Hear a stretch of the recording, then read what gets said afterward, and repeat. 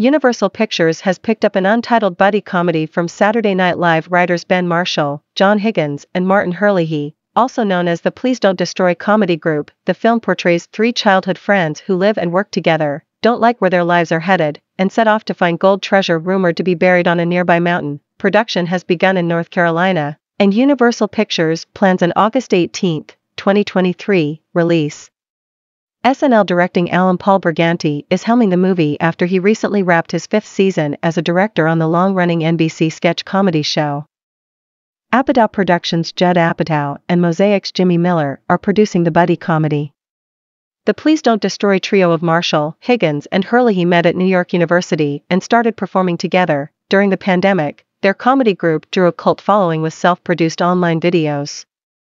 They were hired as writers on SNL's 47th season and were tapped to create digital shorts in their signature style. In addition to writing the screenplay, Marshall, Higgins, and Herlihy will star in and executive produce the film. Additional cast will be announced in the coming weeks. The executive producer credits are shared by Josh Church, M. Riley, Sam Henson, and Michael Sled. Marshall, Higgins, and Herlihy are represented by Mosaic, WME, and Ziffren Brittenham. Apatow is represented by UTA, Mosaic and Ziffren Brittenham.